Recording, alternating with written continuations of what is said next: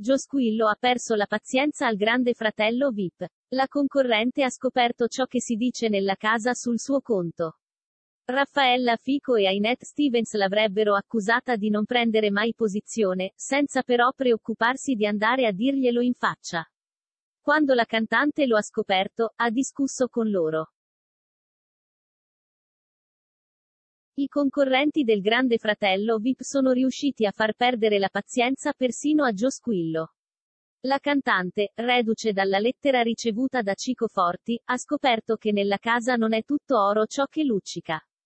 Molte persone che sembrano avere un'idea positiva di lei, poi parlano alle sue spalle. Le voci, rincorrendosi di bocca in bocca, sono arrivate anche al suo orecchio.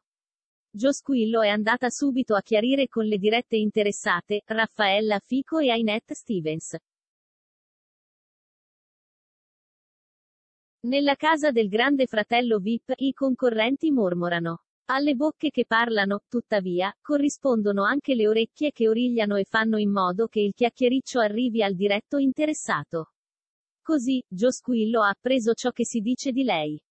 A quanto pare, circolerebbero due pettegolezzi in particolare. Si dice che Giosquillo sia convinta che se si avvicina a Soleil, non possa più essere amica di Raffaella Fico e Ainette Stevens. Inoltre, sarebbe stata etichettata come la classica comodina che non si espone.